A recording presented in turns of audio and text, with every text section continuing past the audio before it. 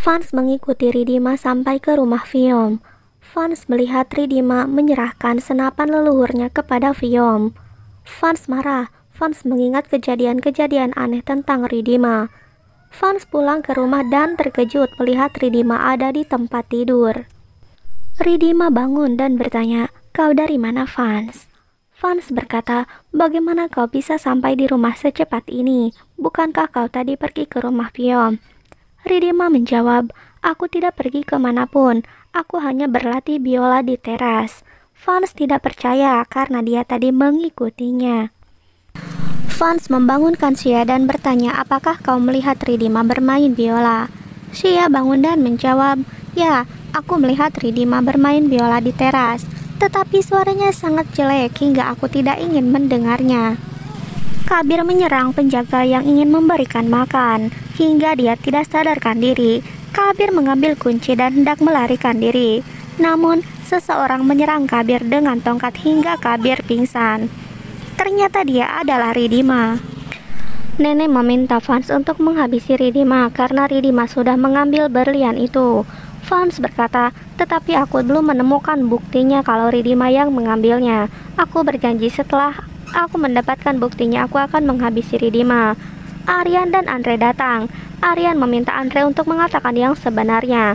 Andre berkata kepada nenek bahwa senapan leluhurnya juga telah dicuri. Nenek meminta Aryan untuk menghabisi Ridima, dan jika Fans mencoba menyelamatkan Ridima, maka Aryan juga harus menghabisi Fans. Aryan setuju. Aryan dan Isani merayakan kehancuran Ridima. Anupria berkata kepada nenek, Fans adalah darah kita, mengapa kita harus menghabisinya? Nenek berkata, kita harus melindungi harga diri kita. Jika sebuah ranting akan merusak pohon, maka kita harus segera memotongnya.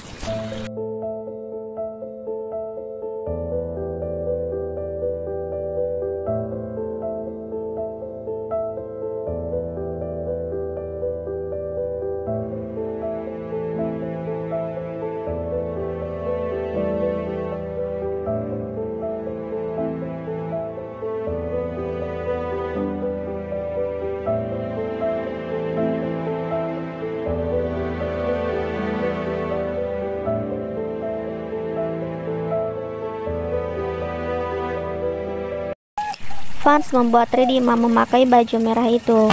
Ridima bertanya mengapa kau memakaikan baju ini lagi kepadaku. Fans berkata, bukankah kau memakai baju ini ketika kau di hutan menembakku? Ridima mengelak. Fans menodongkan pistol dan berkata, siapa kau sebenarnya dan di mana Ridimaku berada? Tiba-tiba Fans mendapat telepon. Terdengar suara Ridima meminta tolong. Fans meminta Andre untuk melacak nomor yang menelponnya. Fans bertanya kepada Ridima tentang lokasinya sekarang. Tiba-tiba teleponnya terputus. Fans mencemaskan Ridima dan bergegas untuk mencarinya.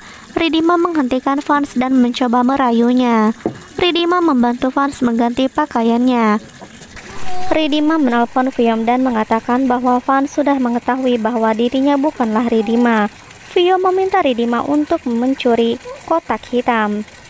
Fans datang ke rumah Piom.